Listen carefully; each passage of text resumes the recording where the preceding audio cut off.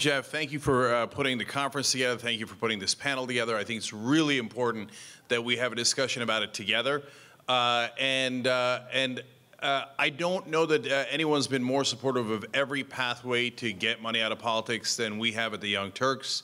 Uh, we've supported almost every group in the field. American Promise, Represent Us. Uh, you name it, we've supported them. We've supported every pathway, legislation, ballot measures, uh, amendment through Congress, and an amendment through the states. Uh, and we call for unity, uh, and the group that I started, Wolf PAC, calls for unity. In fact, there's a letter out now, wolf-pac.com slash unity, uh, to uh, make sure that everyone in the movement is fighting together instead of against each other. Uh, I think that most people here would agree with that. Unfortunately, that's not always the case, as you'll see uh, in this discussion. So the one area where we do have disagreement is the convention. Uh, so it's easy to say, let's do legislation, and I support every attempt at legislation. In this Congress, in this Congress, you're going to get legislation. Okay. Then you're going to get 67 senators to call for an amendment. Does anyone, anyone believe that's possible? So, all right, Ben, God bless your heart. In okay. This, in this Congress all right. or the next one? all right. Let the record note that three Americans raised their hands.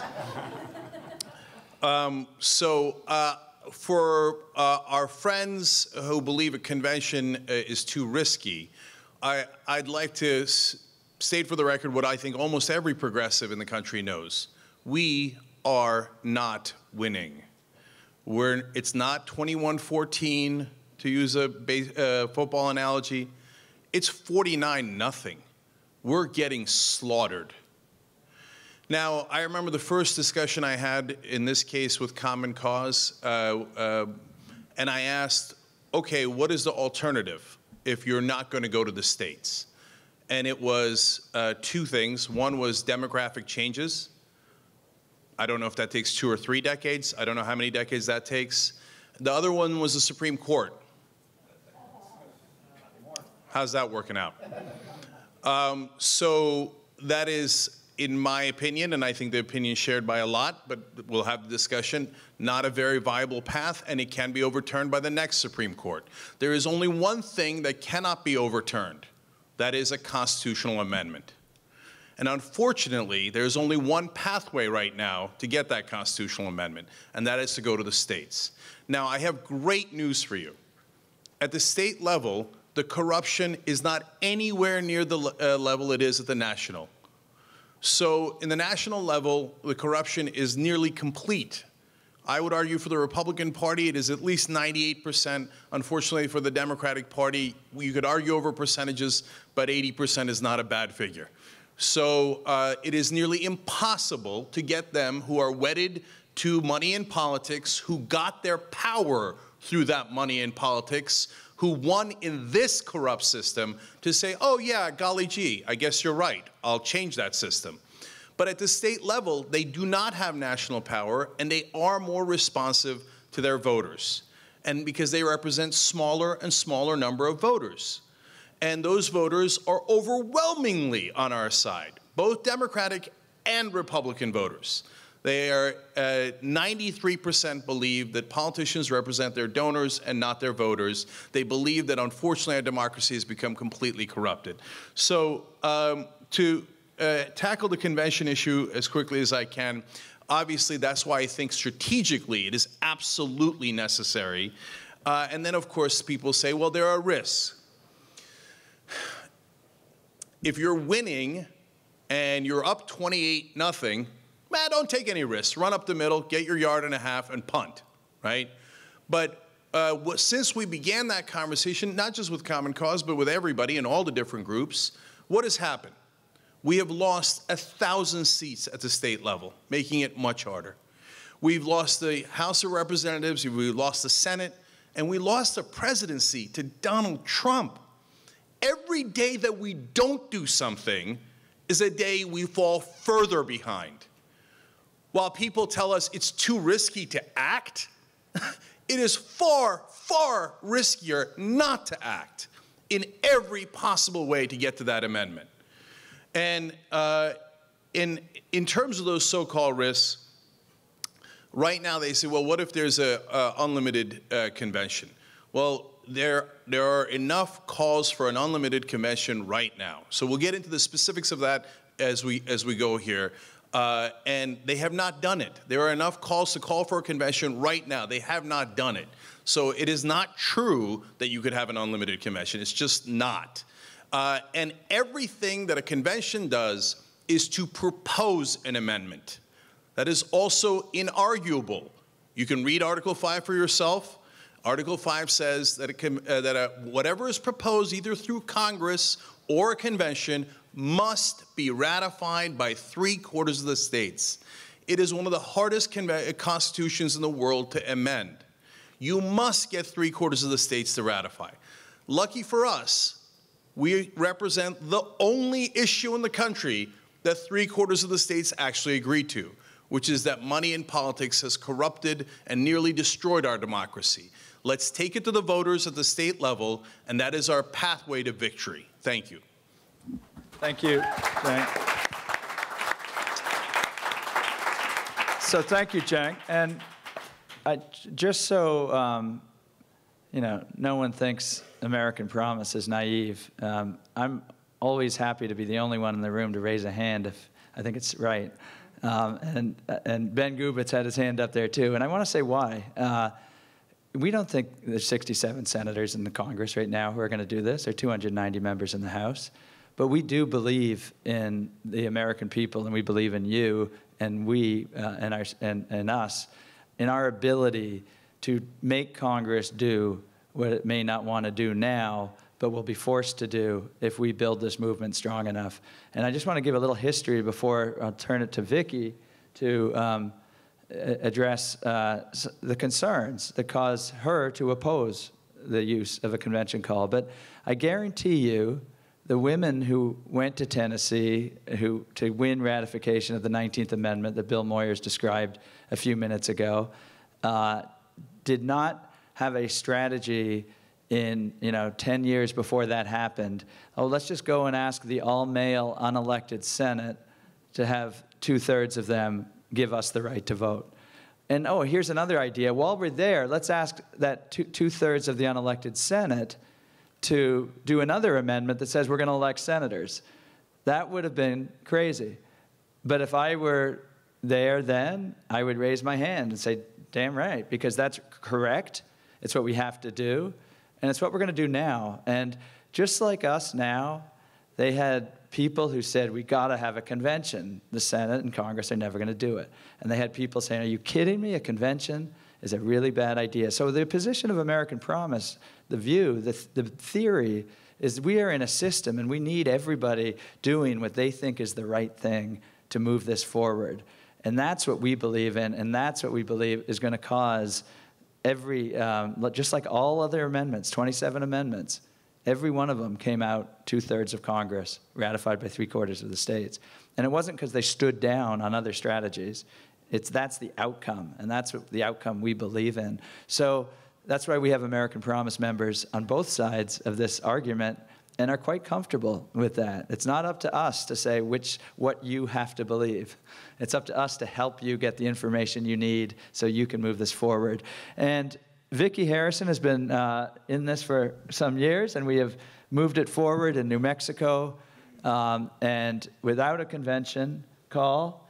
And you have, uh, in Common Cause, has opposed convention calls and sought to stop them in favor of a straight congressional strategy on the amendment. Could you tell us why that is, what your concerns are? Sure. How about the con side of the con con? um, I'm going to turn that into my new tagline. Uh, thanks for having me here. And uh, as uh, Jeff says, I'm with Common Cause New Mexico. I've been the ED out there for about six and a half years. And in 2012, we became the second state to ask Congress to do something about Citizens United. We got tired of them not doing anything, so we did it again this year. And I can understand the concerns that people say, why would you think that Congress would do anything? Why would you think this Congress would do anything? And I, quite frankly, as somebody who does work in the states, would say the same thing about state legislatures.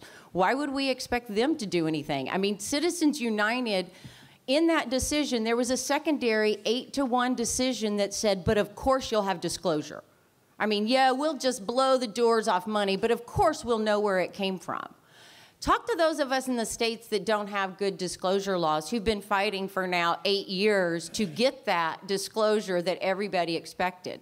So, if we can't get state legislators to even agree to disclose where the money comes from, it becomes very difficult to get them to say, but we're going to get rid of all that money. And so, you know, yes, the threat of a runaway convention is part of it, but that's just one piece of our concern around an Article 5 convention. Um, all of what the pro side says, we feel like are exactly the arguments on the anti side as well. Um, special interest. Uh, we've got, you know, more than 30 of our states that are run by Republican legislatures and Republican governors. And I work a lot with Republicans in New Mexico, and they want disclosure. I mean, my polling every year shows that 90% of the Republican people in New Mexico want disclosure. But that doesn't translate to the state legislature. And I wish that I had the same attitude that you know that Cenk has about the state legislatures that they're smaller and they represent people who are there that's not my experience as an advocate for 25 years in New Mexico. And we would have passed a disclosure bill that five years ago I passed unanimously through the Senate four times and still isn't law. And so I think that, you know, the special interests that run these states as well as Congress is part of our concern. Um, we're concerned about what if there's a disagreement at the convention? Who writes the rules? Um, let's say they come up with an amendment. What court is in charge of even looking at it? You know, we talk about, you know, if we're going to combine amendments or not. I'm telling you, on the ground in New Mexico, Democrat legislators who want a convention on Citizens United will vote for a convention of states and tell you, I'm hoping we can combine them. And the same thing happens on the other side. Now, and if that's not going to happen, does that mean that every single convention application has to be exactly the same? Because I don't know about y'all, but working in New Mexico, you can introduce something, it's never going to look the way you introduced it by the time you finish it. This is democracy, and state legislators love to dicker around in democracy. They think they know more than anybody else. And so I think there's a variety of reasons. I mean, we've written a report called The Dangerous Path. Anybody can go on our website and read all of the reasons. And I just want to close by saying, for this now, for now, is you know you'll hear a lot about Common Cause opposing this, and it's not just Common Cause. Um, we put together a letter last year, and over 250 organizations signed it. In fact, in New Mexico, to fight convention applications, I had my partners all of my union partners and my immigrants' rights partners who came to me and asked me for my help in defeating it. So you may hear a lot about common cause, but there's not just common cause. We've got everybody from NARAL to Scalia saying that's a bad idea. So thank you. Thank, thank you, Viki. Um, yes, thank you. And so let's bring Ken Chestek into the conversation. We're very glad to have a law professor who's looked into some of the legal issues around this. This isn't something that comes up every day, of course, in American law or life. Uh, but Ken, what have you found? Why are you comfortable with the convention strategy? Thank you, Jeff, and thank you, Viki and Cenk. Um, look forward to hearing from everybody. Um, so about a year ago, a little over a year ago, uh, we tried to get this through the Wyoming legislature without success. So uh, three of us, uh, Shelby Shadwell and Lynn Morrison, and uh, I saw them both here in the room, and, and me and a few others, um, decided that we would try and put this on the ballot. And the first question that we encountered was, what are we putting on the ballot? Are we going to ask, pretty please, Mr. Congress, can you do this for us? Or are we going to go all the way and ask for um, actual voters to weigh in and say, yes, uh, we want a convention of states because we don't think Congress is going to do it. So, and we'd heard all the stories, all the horror stories about how a, con- a convention can run away and there's no rules, so they'll make up the rules and they can change the, change the uh, amendment process and everything, all those. I heard all those things. Um, so the first thing we did was do some research uh, to find out are they true? Um, what are the risks? Because we, we knew this was going to be a critical decision before we decided to go forward with the petition. Which way do we go? Uh, so we did the research and discovered um, a couple of interesting things. First of all, that the uh, fear of a convention is bipartisan, cross left and right, both groups on the left and the right. And Viki's absolutely right. There's a number of groups on the left, including Common Cause, that oppose it. There's groups on the right that oppose it, including ALEC. Uh, ALEC is opposed to this, so it's kind of a strange bedfellow situation. Um, but when I did dug into it, it, we finally concluded that the position against the amendment or against the, the convention call uh, is wrong for three very important reasons. Uh, number one, it's historically, factually wrong. The, the, the claims about a, the, the, the 1787 convention running away is factually incorrect. That is not true. Um, but also, we felt that, that these arguments were legally inaccurate, which I'll get to in a second but also, and this is the key one for us, strategically unwise. And has already uh, outlined some of the reasons why we think it's strategically unwise. So let me just start first by talking about why I think it's historically wrong. Um, the, the, argument is that um, the only convention we ever had was a runaway convention. Uh, that the Articles of Confederation were, the Congress called a convention of states and to, to, amend the articles, and instead the convention ran away and it uh, proposed a whole new con constitution, constitution, which was a runaway convention. Uh, and that's two points. Number one, um, if that's true, then the Constitution is invalid. Why are you supporting it? right? That, that didn't make sense. But more importantly, it's factually not true. The Continental Congress did not call that convention in 1787. Here's what actually happened. In 1786, Virginia, there, so the Articles of Confederation were not working. Um, there was all kinds of problems. Most, in, most of, of, the problems in, involved commerce between the states. They were taxing each other, and there was a lot of problems with interstate commerce. Um, so there was a convention uh, called by the state of Virginia, and only five states showed up. Um, but they all agreed that there are problems with the Articles of Confederation, and we think we need a, a much wider con, uh, convention involving all the states and more, dealing with more than just the commerce problem. There's a lot of other problems with the Articles that need to be fixed. So Virginia called for a convention to meet in Philadelphia in 1787. Six other six states joined that, uh, and ultimately Congress said, if you want to, go ahead. Uh, but Congress did not call it. It was actually called by the states. So it, the process was, and, and actually Congress at that time could not have possibly called for a convention of states because the Articles of Confederation did not include that power, did not say that this is a way you can do this. So they had to step outside of the Articles of Confederation uh, and called, the states themselves called this. They met in, in, in Philadelphia, and the call was not make some minor changes to the articles. The call was we, have, we need a general convention. If you I, I, read last night, I, I read the uh, report from the Annapolis Convention in 1786 uh, that said we want a general convention to, to discuss everything. So the states called for a general convention. How can you run away from that? That gives the state, the convention, the power to propose whatever it wanted to propose, and it proposed a new, a new constitution. It was not running away from its power, it was exercising the power given to it by the states which called for this general convention. So that's the first point. The, the first convention was not a runaway convention.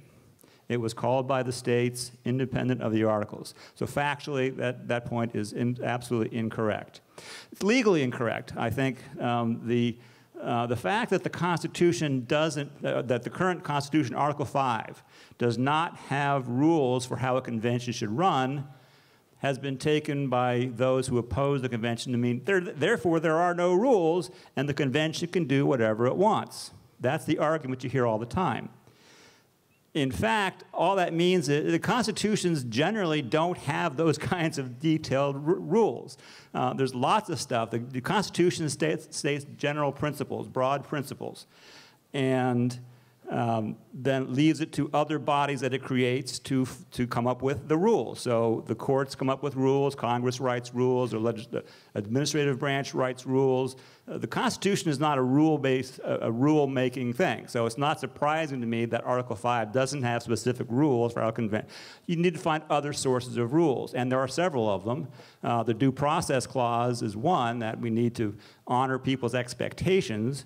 Um, but the biggest one to me is simple common law, the common law of agency. Now, I'm a law professor, and I can tell you um, with some authority, I think, that this is a typical first year law school concept. Uh, when a principal says, I want to appoint somebody as my agent to do something, that agent has, one, has only the power given to it by the principal. So if the state says, I appoint this delegate, and we call them delegates, they are receiving power from a higher authority, the state, I appoint my, this delegate to do one thing, write an amendment on this issue. It doesn't have, that agent does not have the right to do anything more than that one thing. So legally, I think the, it's impossible for a convention. It's legally impossible. We're asking the wrong question. We ask, how can we stop the convention from running away? The actual question is, what gives it the right to do that in the first place? How could it possibly have the right to do something that's not been authorized to do? And finally, I'll close with this, um, and because Cenk's already talked about strategically unwise. Uh, I think strategically, uh, this is the only tool we have that has a chance of success. Why deprive ourselves of that one tool that we think has a chance for success? Uh, and a final point, um, there are those, and ALEC actually does not want a runaway convention, but there are some on the right who say if we get a convention, we're going to do whatever we want. Uh, why do we want to give them aid and comfort? If we're standing here saying a convention can run away, then uh, the, the, the, convention call that's closest to getting this done is a, uh, a right-wing side, uh, the balanced budget amendment. They're close. And if they get the convention, they can say, hey, look, all the people on the left say it can run away. Let's do it. Let's run away. They say we can. Strategically, it's not smart to make that argument.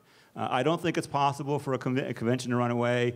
It's highly unlikely, uh, and I therefore, we made the choice at Wyoming Promise to go for the Convention of States, and uh, let's hope we get it. Thank you.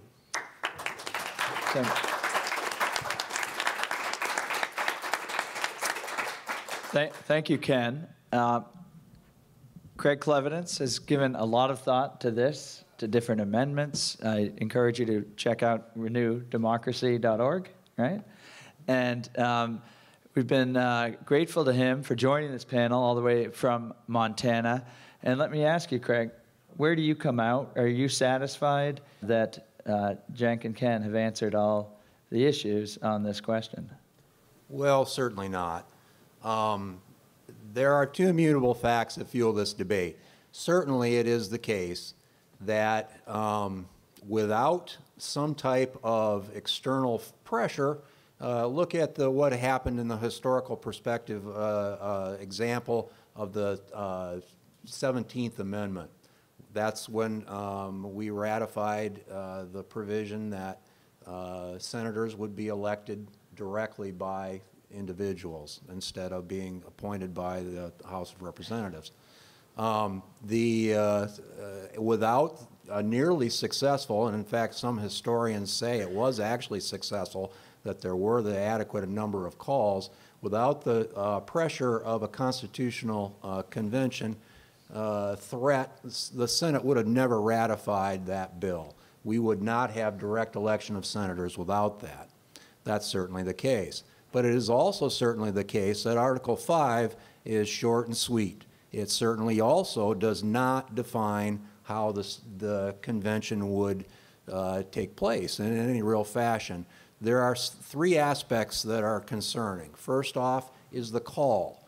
Um, That's the, the request to Congress to initiate the con- Constitutional Convention. What uh, is the uh, situation for what would be uh, considered a valid, de- determined call? There are no, there are no established rules for that. So does the call have to be identical? Does each call have to be the same? Undoubtedly, if all calls are not the same, the calls will be questioned. They'll be uh, contested, and if they're contested, they'll march up to the uh, Supreme Court. Does anyone here think the Supreme Court will be interested in enabling us to change the Constitution? I'm certain not. Um, There, of course, is also the call, the concern about the content, um, the subject matter of the convention. When we talk about a runaway convention, what that means is there's, we're just putting in subject matter, we're asking questions that were not already ratified by the states in the process, not ratified, but approved by the states in the process to secure ratification. So that, it simply means that we're inserting subject matter that wasn't in part, the part of the call. There are no rules that govern that. So to say we can't have a runaway quote-unquote convention is really uh, just anyone's conjecture without any type of rules. So eh, we have a situation where uncertainty reigns on both sides. It's uncertainty on the side of um, the uh, uh, folks that are opposed to a convention process, what will happen when we call the convention? Will we, uh, is there a possibility that we would enable uh, questions that have not been sent through the process of uh, 34 states uh, to consider? That's an, it's an entire possibility. But historically, if you look at um, uh, the past, we certainly can see that the, we have not had a constitutional convention in the past since uh, the 1780s. Uh, in the social sciences, we learn that the most likely thing to happen tomorrow is what happened today. The most likely thing to happen today is what happened in the past. If we've not had a constitutional convention in the past, it seems like that's relatively highly unlikely that we're going to be able to perfect that. If we don't perfect that, how is it that we're going to move our issue forward adequately and win the support that we need if we don't have the pressure from a constitutional convention type of a process as well as uh, attempting to secure legislation? So both things are important. We, we, seem, we seem to be having a debate here about something that we really don't need to have a debate about. And here's why. We can eliminate that uncertainty by initiating legislation that would control the process. Um, Edwin Meese, the uh, Attorney General for Ronald Reagan, commissioned a study by the Department of Justice. In that study is about 60-page, fairly lengthy tome. It'll make your eyes water, even if you are a, uh, a, a, uh, a constitutional professor. I've read it. And one of the things that, that Ken read, it was the end. I've posted on my website, and it's also on your Whova app, the, the document that I'm referring to. Uh, this is the Department of Justice. This is not my opinion, and probably, I don't know of, of any other uh, legal authority that would prevail over the Department of Justice. And this is what they say in the end of their executive summary.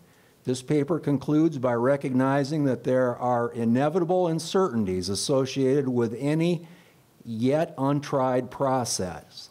However, it is suggested that the adoption of the convention procedures legislation by the Congress would minimize greatly any remaining uncertainties associated with the convention method of amendment.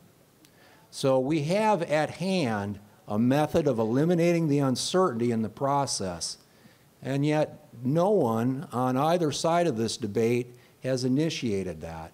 It's, un, it's understandable that it would take a, a, fair amount of work and it's kind of ancillary to anyone's process, so we have not developed that.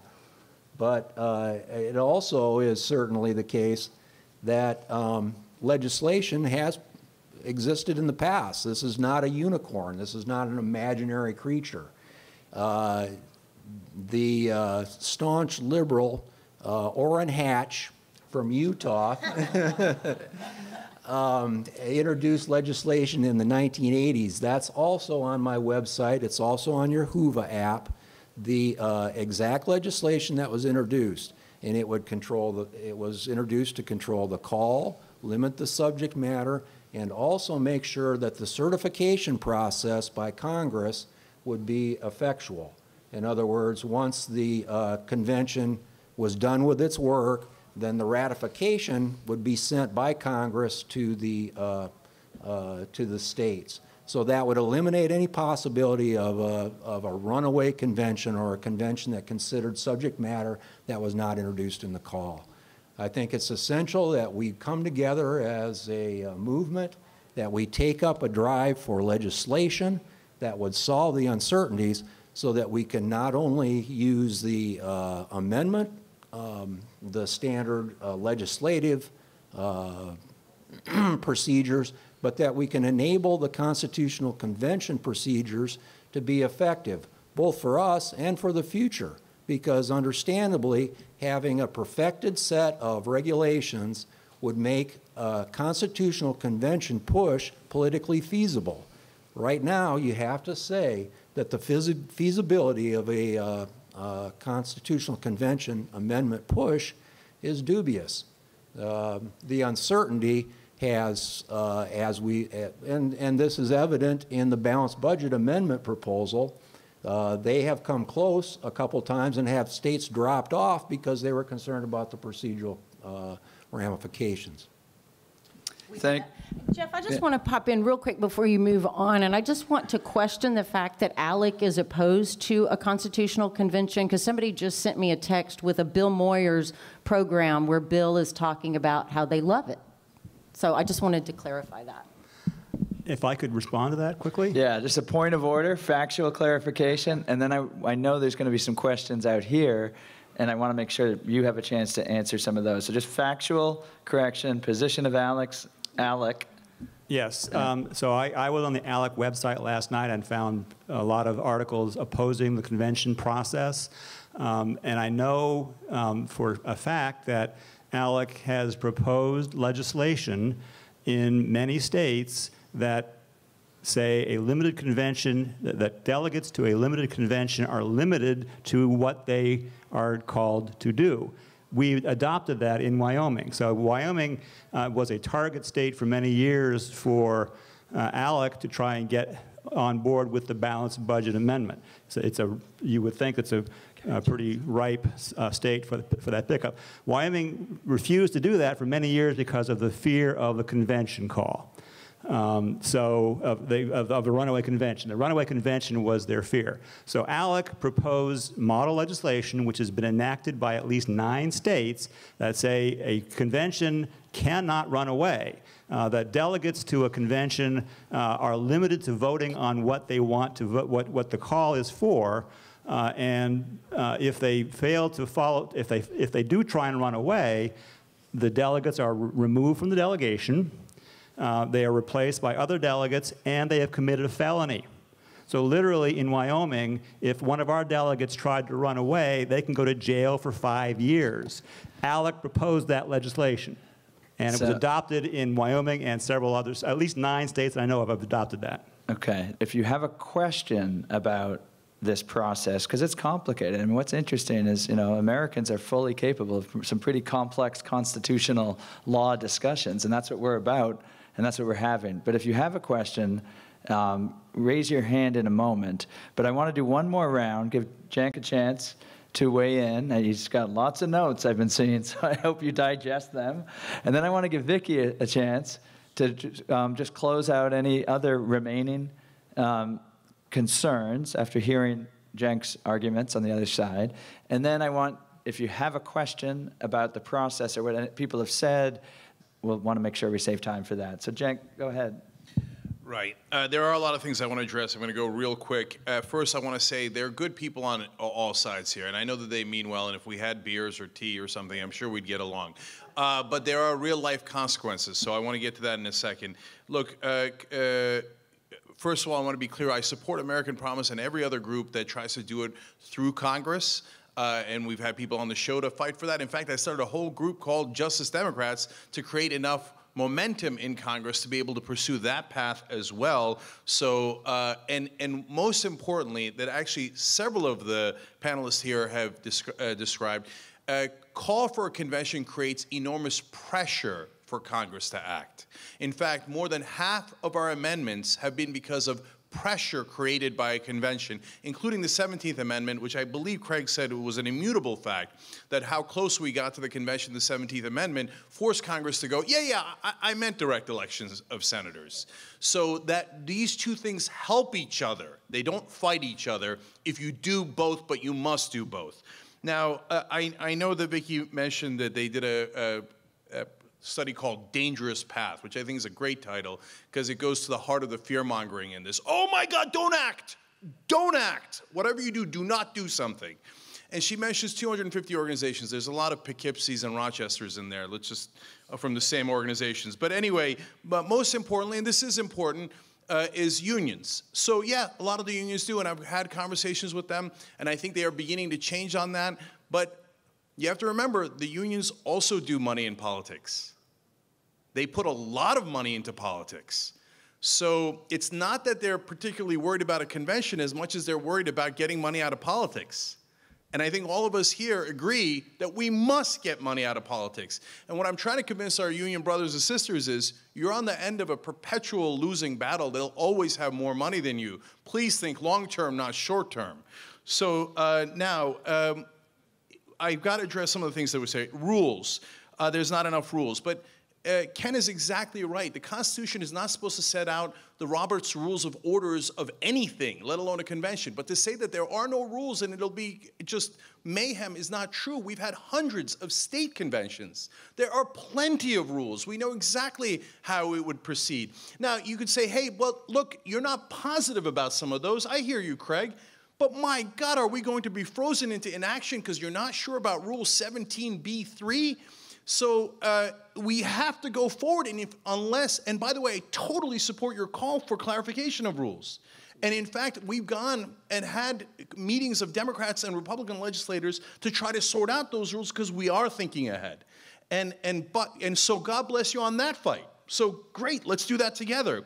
But let us not say, okay, let's all pause before we figure out the rules. You know what's going to motivate people to figure out the rules? If a convention is coming then they're going to say, yes, my God, let's get the rules right. And hold on.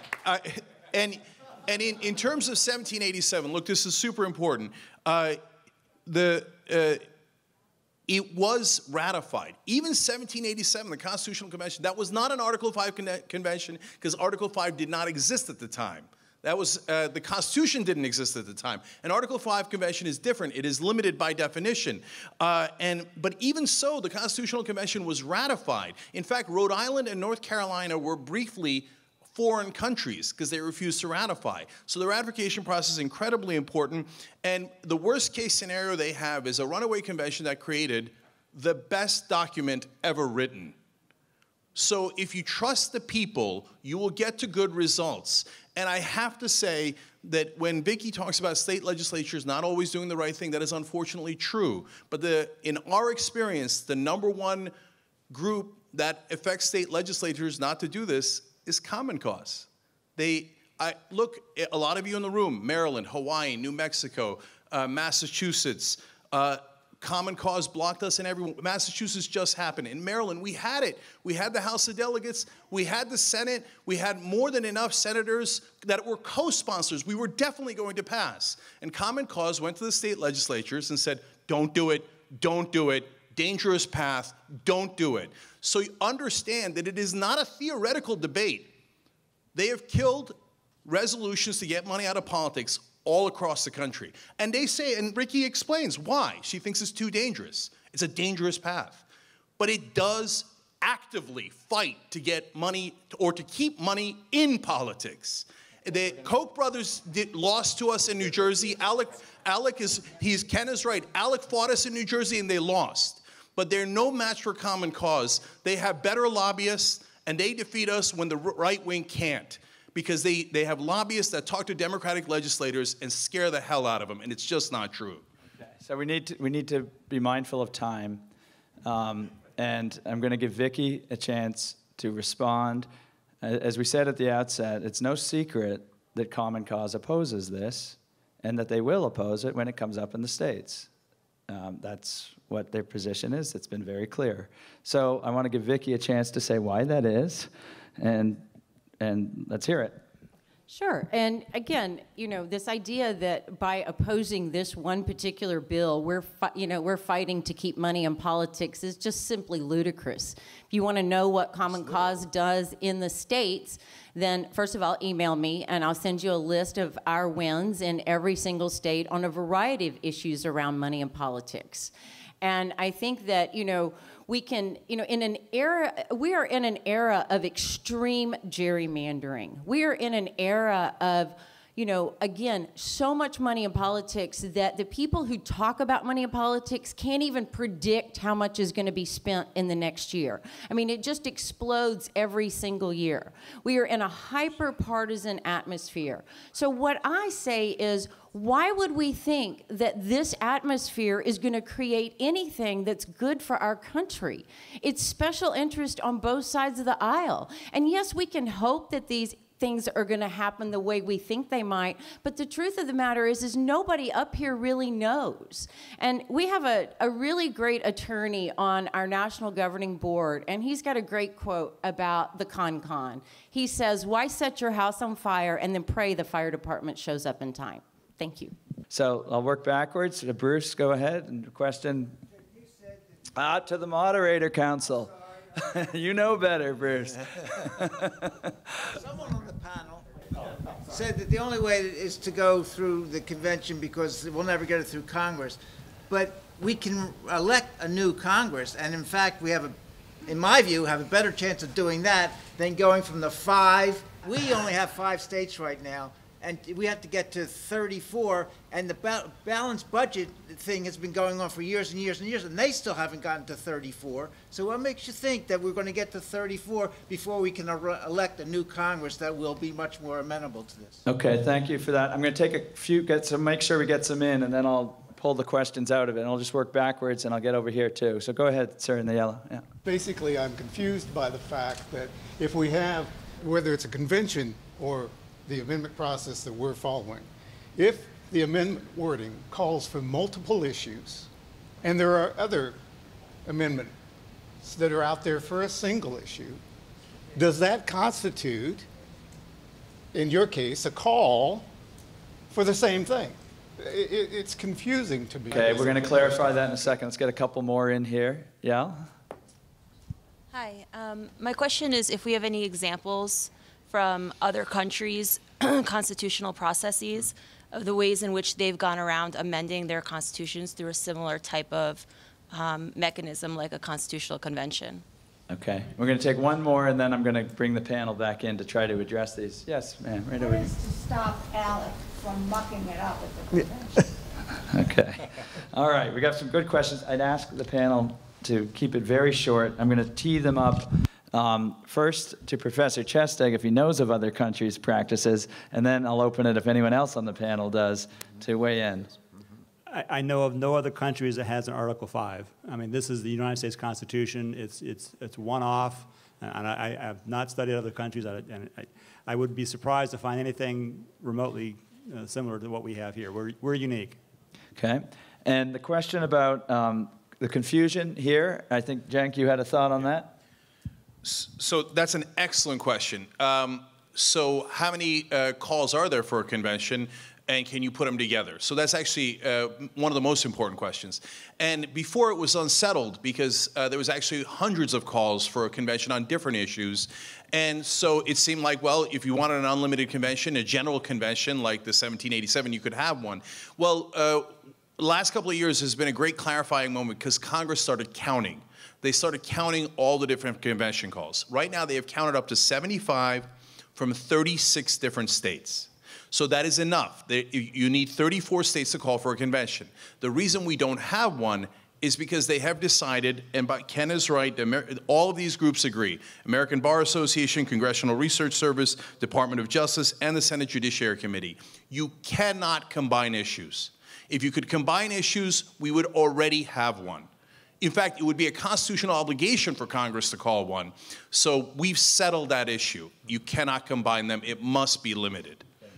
Okay, and then I'm going to put the last, um, maybe a slight rephrasing of the ALEC question to Viki, um, because it may be somewhat responsive to Cenk's, because I hear in both of these some concern about on the, um, what if there's different calls, or, and so what is to prevent ALEC from mucking it up, in the legal phrase, mucking it up? I uh, like once- mucking it up. Once the convention begins. Uh, Is that a fair Well, I characterization think of it your is. question? I think Yeah. it's whether it's ALEC or any special interest group. I think we have a concern. Um, you know, we can poo-poo the rules all we want to, but the truth of the matter is, we don't even know who would be at the convention.